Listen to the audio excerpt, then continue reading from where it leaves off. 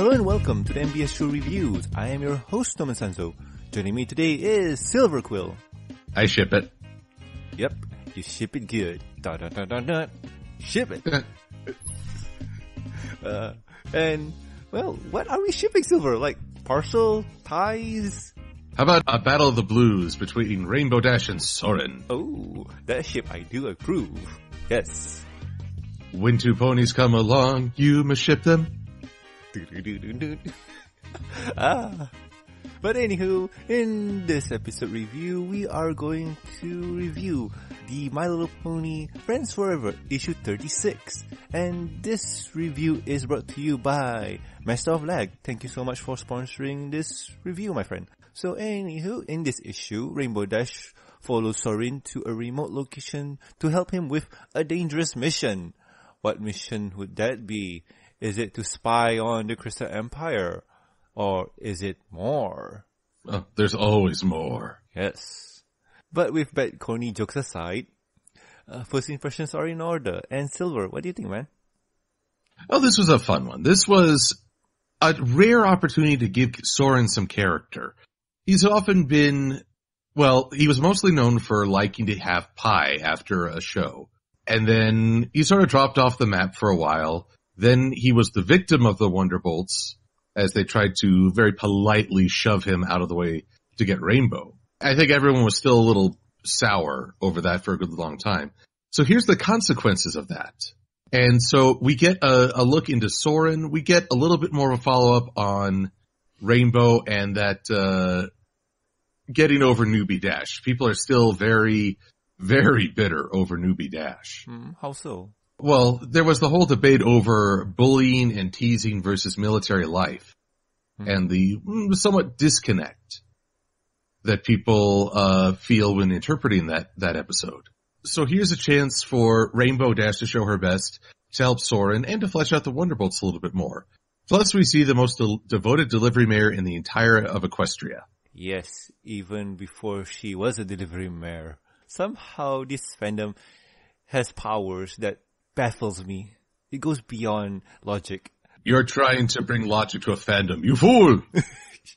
Yes. And as for me, this comic was a fun read. I highly enjoyed this comic.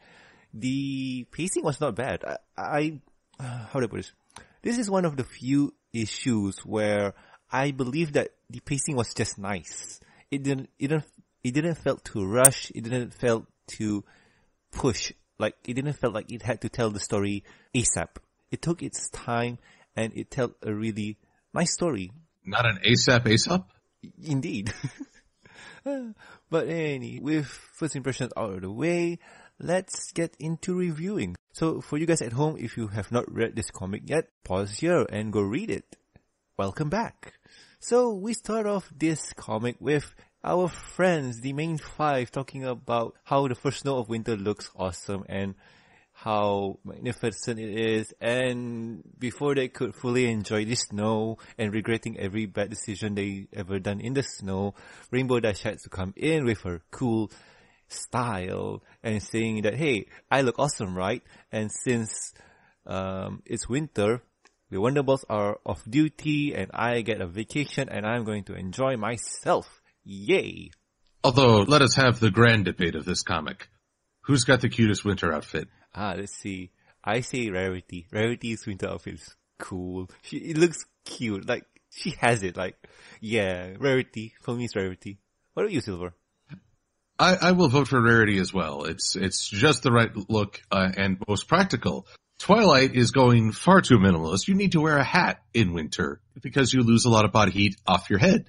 I'd say Fluttershy is a close second with her sweater and earmuffs. Yeah, I, I, I vote for that one too. And a tie for third place would be Pinkie Pie and Applejack. Those two look cute. Like Applejack's the farmer girl. She has the, uh, what hat is that? I do believe Canadians wear that most of the time. I have no idea what the proper name for it is. Yep.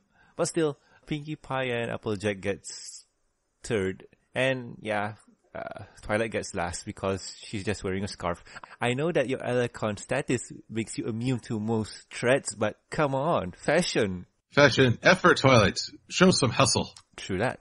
And we get Rainbow Dash. Rainbow Dash with her snow goggles, her snowboard. Are you trying to be Sonic here? Oh, don't want to be like free Sonic Riders. I'm flying free. No, no, no, no. And well, getting back on track, this confused me for a bit. There's somebody sc- screaming or there's somebody saying incoming from the right. Then we see Spitfire coming from the left. What? Well, that's just because she was so fast that she went around the world and outpaced her own uh, her own words. Yes. uh, but Spitfire came in telling Rainbow Dash that, hey, Rainbow Dash, you have a secret mission to do. I need you to go to the um, Mount Everhoot. Is it Mount Everest? Uh, oh, Everhoof. Everhoof, yes. Uh, Mount Everhoof outpost. And Rainbow Dash says, is this a joke? Um, is this some kind of initiation or something? And Spitfire says, nah, I think Soarin is there and I want you to get him back. And Rainbow Dash says, why don't you go? And Spitfire says, um, I think because of that whole incident with the equestrian games, he might be pissed at me. So I don't think I'm the right pony to go and ask could you do this for me? Here's the manual on how to get there and see ya. And well, Rainbow Dash says, well, not given a choice, she has to do it, so she says she'll go. And I like the last panel of this page. Applejack says, anybody else want to come sit by the fire with me inside? and everybody says yes. I ship it. Don't care what. I ship it. Da na na na na na na na na. Ah, but still, that was cute. And I'm guessing the next day, Twilight goes to Rainbow Dash's house and tells her that, hey, I've read about the place and it's dangerous. And what is Soarin doing there exactly? I mean, aren't the Wonderbolts supposed to be on vacation or something like that? And isn't it dangerous and stuff? And Rainbow Dash says that Soarin is trying to prove himself because he flubbed at the recent show and he's doubting himself. And it takes somebody awesome like me to prove that he is awesome and stuff. So yeah, sending Rainbow Dash is a bad choice. All shall uh, be given awesomeness by the Rainbow Dash. Indeed. Uh, what do you think, man? Like sending Rainbow for this doesn't seem like the right choice.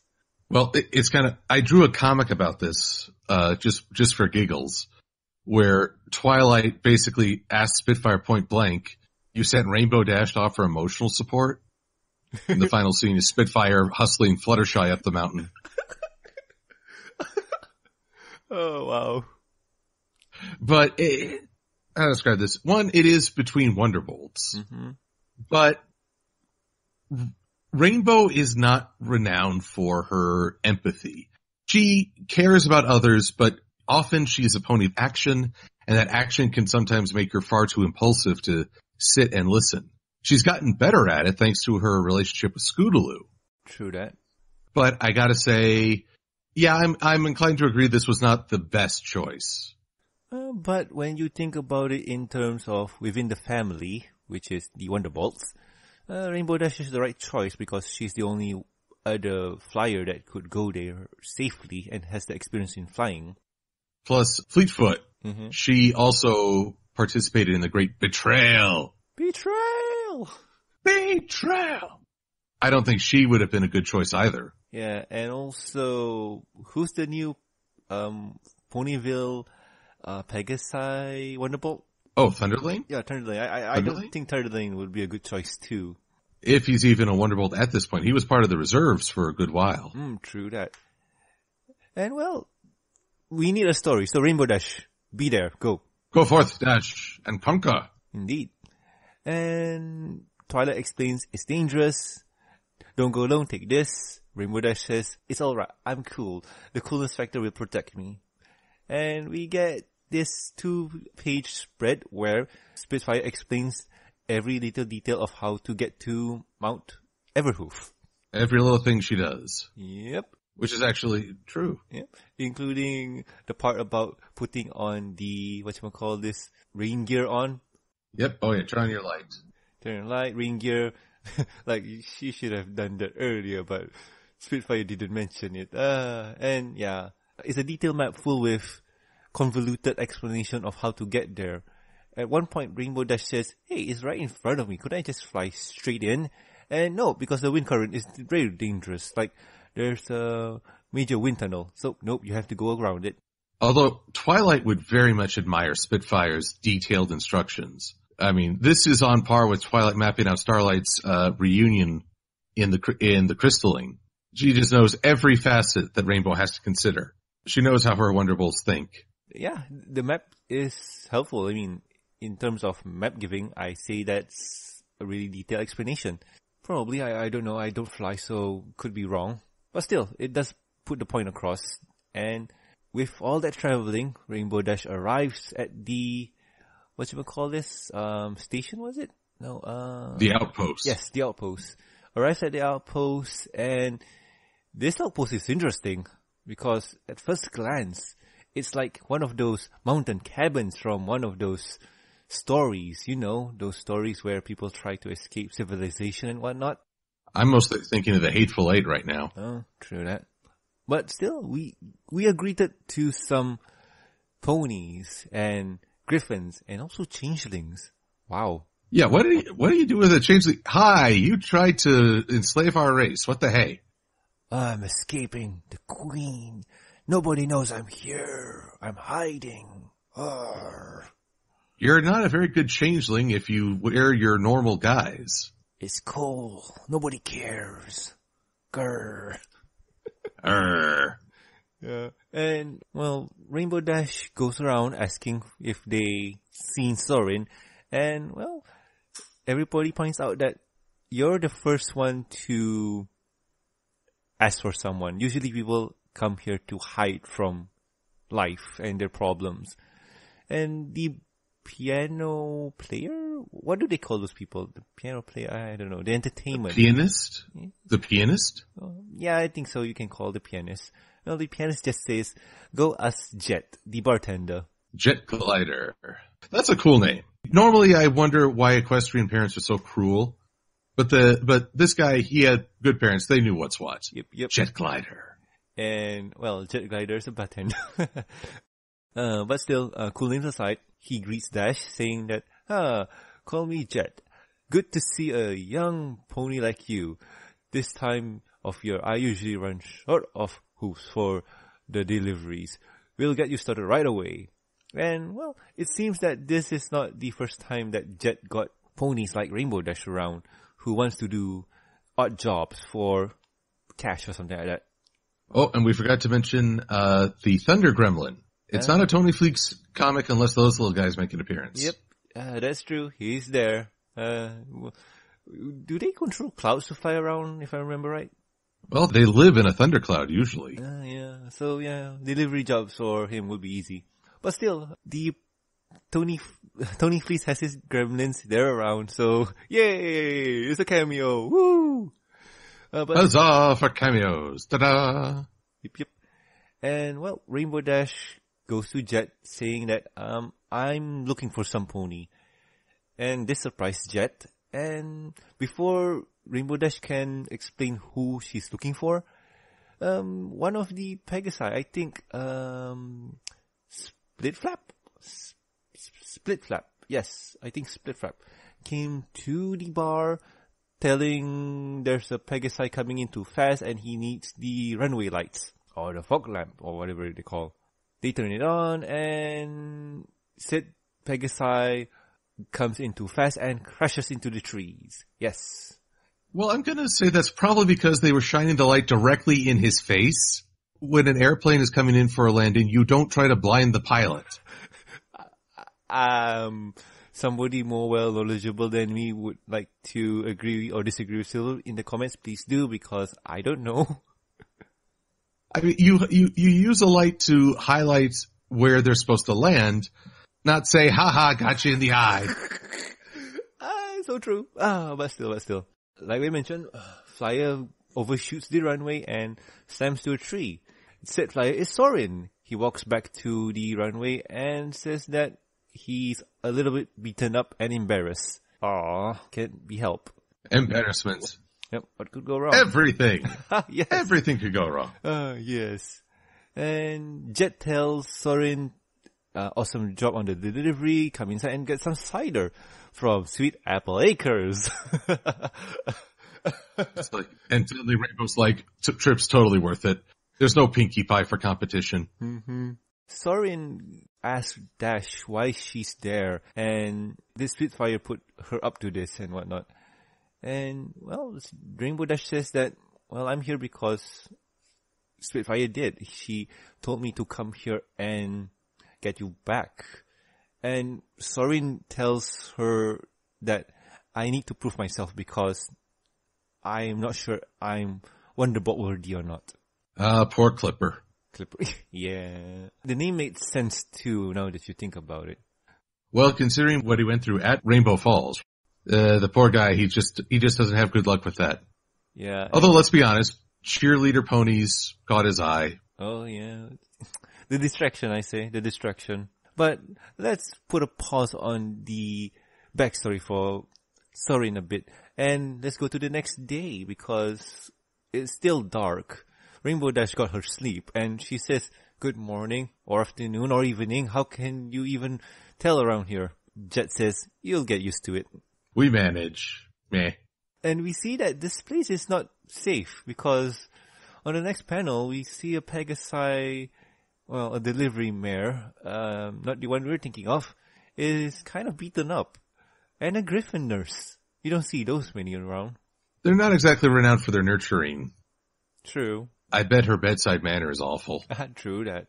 Uh, but the Griffin looks like Grilda, but not really. But still. Rainbow Dash just asks where's Soarin and Jet says he was the first one out to deliver something. And smash! He's back. Hello. It seems like Soarin's calling card is whenever he crashes, there he is. And yeah. And now we get the backstory of why Soarin is trying to prove himself because it seems that everyone from his friends to his family been telling him that he will never be a Wonderbolt. And once he got in, he doesn't feel like he deserves to be there. Well, we got just a few things in between. I just want to backtrack. One, Rainbow Dash drank all the cider meant for the people who actually run deliveries. Again, was she really the best choice for this mission? Yeah, true, true that, true that. I mean, Sweet Apple Acre cider is the best around Equestria, but Rainbow Dash, those are 40 delivery ponies. You ain't delivering anything. Think of the others. But she does have a point that she does not have to contend with Pinkie Pie, so, yeah. Won't someone please think of the children? Uh, yes.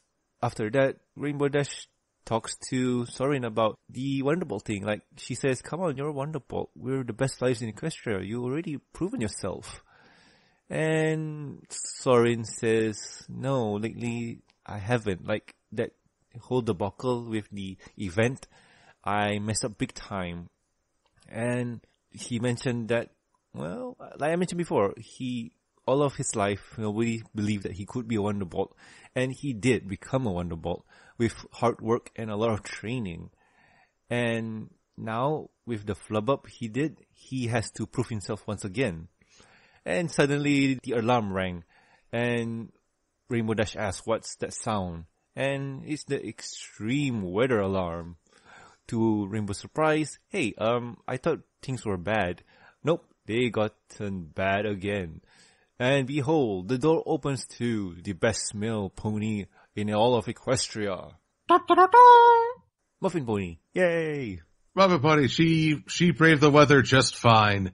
Neither rain nor sleet nor, ha- nor hail. Yes. Look at her in all her majesty. She is best. Again. She's the best pony around. And she delivers a message to the outpost telling them that Yakyakistan is in need of medicine. It seems that the yak strain of the equine flu has hit them hard and they need a triple order of Everplant right away. Again, I must contend natural selection is just gunning for them. When are we going to just accept this? I'm sorry, I know it sounds cold, I know it sounds harsh, but maybe, maybe Mother Nature is trying to give you a subtle hint The Rutherford family line needs to end. There's always the coup, but the rest don't need to suffer. I mean, come on. No, this is, this is nature's coup. Coo coo choo. Uh, but still, but still. Doom and destruction upon the yaks. Oh no. How could you? Doom. Doom. How could you? Uh, but, I'm not doing anything. It's nature. uh, but anywho, um, the They're so stupid they pissed off the gods. Uh, yes. Uh, no. oh god, no. But anywho, with such a dangerous mission and the Yaks needing the medicine, Soarin steps up and says that I'll do it. I'll do it because I am brave and I am awesome and I got no idea what I'm doing. Rainbow Dash interjects and says that hell no you're not doing it. And Soarin says, no, I'm doing this. And Rainbow Dash says, okay, you're not doing this alone because I'm joining you. Suit yourself. Shipping starts. Starts. Dude, I've been doing this since page one. What are you on about? Uh, true that. But still, um. Now ship it. Into shape. Do, do, do, do. Or get some Michael Jackson. Just ship it, ship it, ship it, ship it. Uh, true, true that. But anywho, we are greeted to a really nice post from our heroes. Tell me that aviator jacket and aviator goggles don't look awesome on them. Like, dude, that is just pure awesomeness there. They look better than the Wonderbolt uniforms. True that. But still, the Wonderbolt uniform gives them aerodynamic mobility. This one gives them warmth. I think. I don't know. Their rumps are, are totally exposed and their hooves are as well. So mm, we could argue the practicality of it for a good while. True that, but they look cool. That's the most important part. Yes. Yes. But anywho, they soar, they soar high, and they go through trials and tribulations, flying through mountain peaks, getting struck by lightning, I think, and Sorin coming in for the smooth save. Oh yeah. Although if you took that shot out of context, I don't think it would look as complimentary. Oh yeah. it's like, oh, what are you doing? Let me go! Yeah, it's kind of, uh, yeah, you know, stranger danger. I need an adult. Yep. But I am an adult. I am hilarious and you will quote everything that I say. Ah, yes. Anyway, Next page, Rainbow Dash says thanks and compliments Soarin on the awesome flying. And yeah, I think I jumped the gun when I say that he needs to prove himself. Uh, this is the panel where it all starts. And well, Silver, you want to take it from here? Well, this is where Soarin really talks about his past as, uh, he never had Rainbow's raw talent. In fact, a lot of the Wonderbolts were sort of flying prodigies. He has to work for it a lot harder. Well, okay, that make, that sounds wrong. It makes it sound like they're just coasting by on talent. They work hard for it as well, but he feels he's at a disadvantage and he has to work twice as hard just to keep up with their raw skill some people just seem to adapt to a situation or a role like a fish to water. Other people really have to learn how to swim. He's given it his all, but setbacks like the Wonderbolt show uh, or falling in Rainbow Falls really can mess with that confidence. Mm-hmm. And so he, he's doing this to work hard. And I appreciate this. I appreciate that it's a story about how a team is not all comprised of one style some folks tackle the same role in different ways. And so this was uh, very important to him. Mm-hmm. And this reminds me of the other two new recruits. Um, I forget their name. What's their name again? The adorable couple, Vapor Trails and Oh, Vapor Tr- Sky Stinger. yeah, Sky Stinger. Those two are totally the opposite of each other. One is a naturally gifted flyer, while the other one works hard at things. And with Soarin here, it's the same thing. And Soarin reminds me of a shonen anime character, like Naruto, where he works really, really hard to get where he's at now. Oh, he's Rock Lee. Oh yeah, Rock Lee. Lee's also that too. He needs bigger eyebrows though. Oh, true that. But Lee is not gifted in the art of the ninjutsu, but he has potential in taijutsu and he excels at it and he trains every day to prove his worth. And Soarin here is doing the same, except he's no ninja, he's a flyer stuff. And let's get off the Naruto bandwagon, because that thing is old.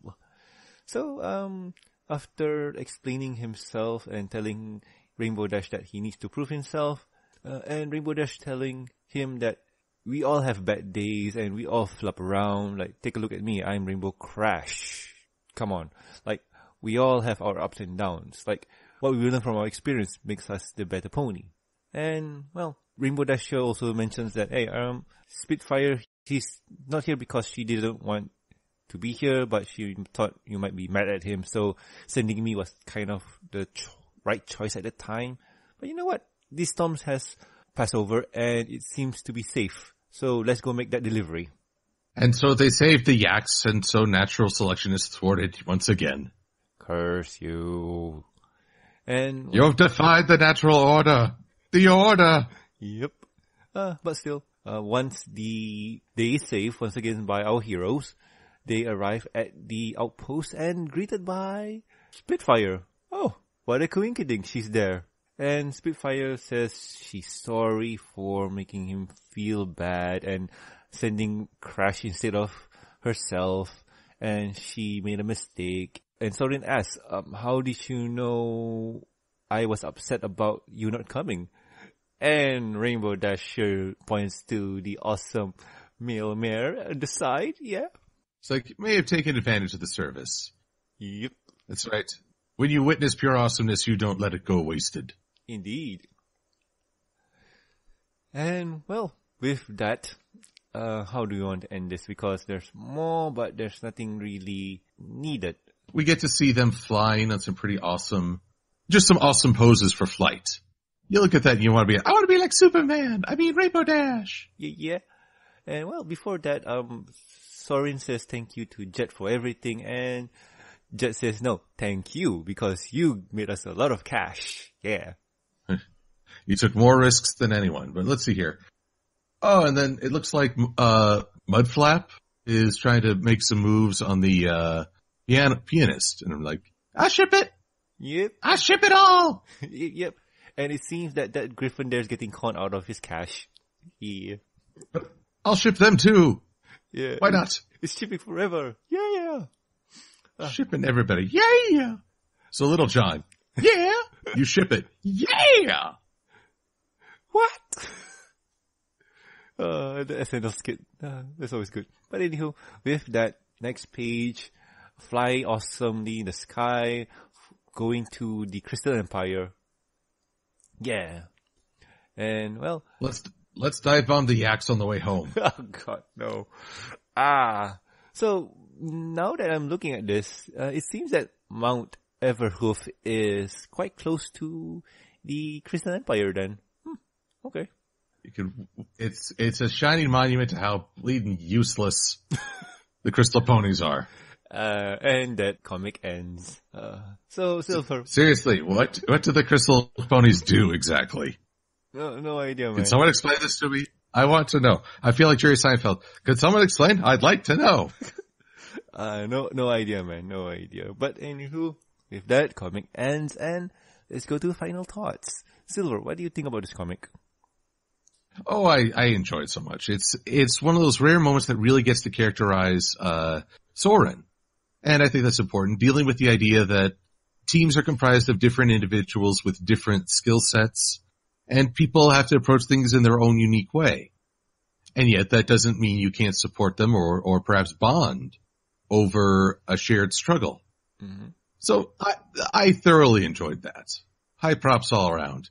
And yet it, it does provide a follow-up for both Rainbow Falls and Newbie Dash as the Wonderbolts didn't come out of those episodes looking their best.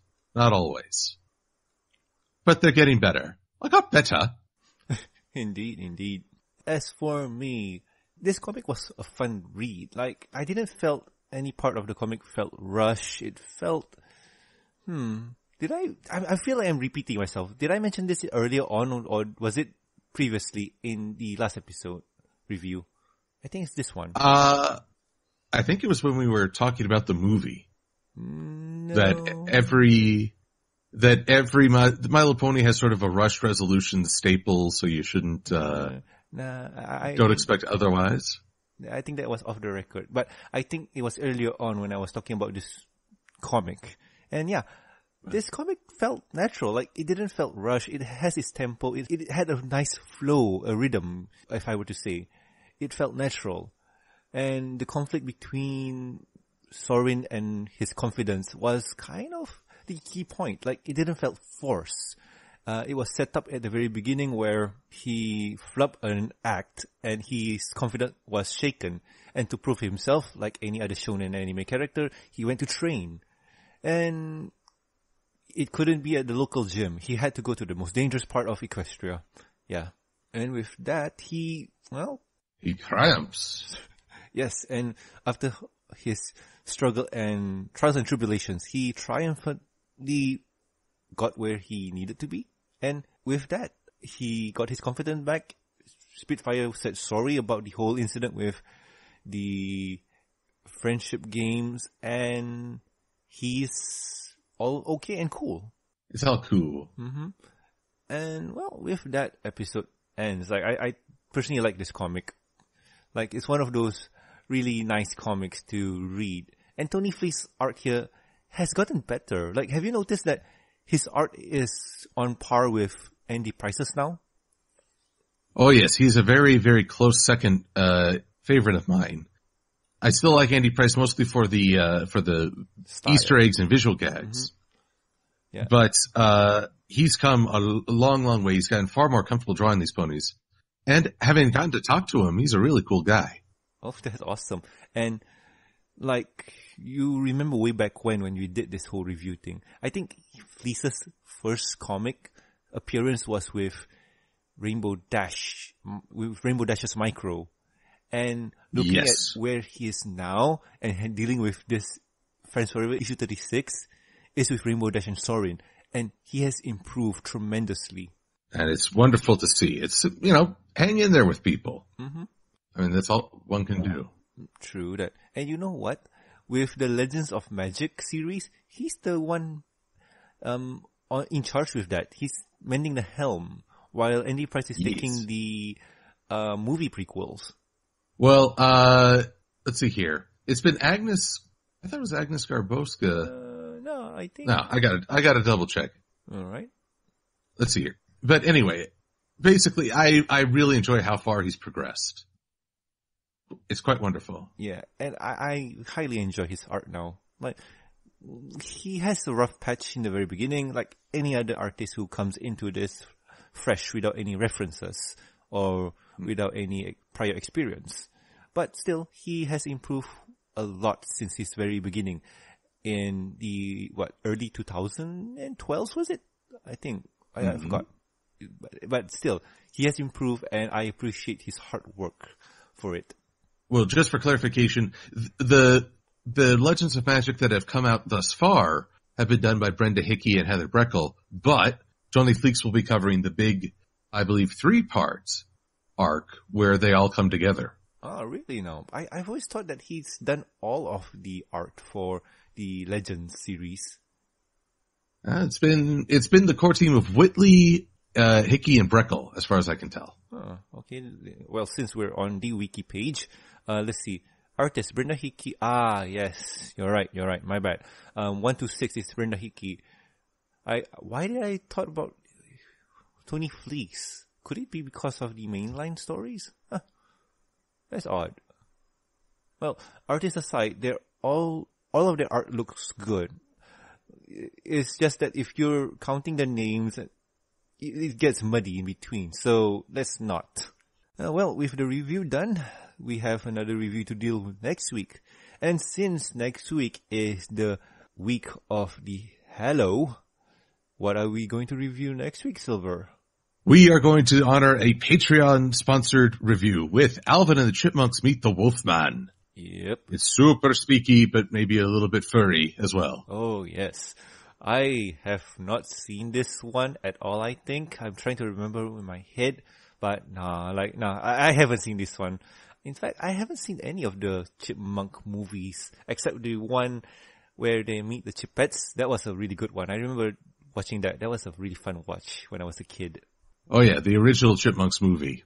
Yep. The one where they had the the epic Roman battle. Yep, yep, and also the musical battle. Yeah. I that movie was confusing for me as a kid. Like they were put into slavery. What? Well, it was not exactly the most racially sensitive. Let's just put it that way. yeah, it was okay in their time. You know, I mean, during that time was okay. Yeah, right. It was the 80s. We didn't care. Indeed. Uh, but anyway, that that review next week for Halloween's weekend is brought to you by Master of Lag. Thank you so much for that one. And well, if you guys at home would like to, well, support the show, you can do so at patreon.com slash mbs show. With every support, you'll get early access to the review and discussion podcast and also deleted content and exclusives. And also a huge thank you from me. And talking about thank yous, I like to thank Lurka Cat, Demetricotorius, Starstream, and also Master of Lag. Thank you so much for the awesome support, guys. You have been really awesome. And with that, I have been Norman Sanzo, I am Silver Quill. and we'll guys catch you next week with a spooky episode of the MBS show. Hurrah! Woo!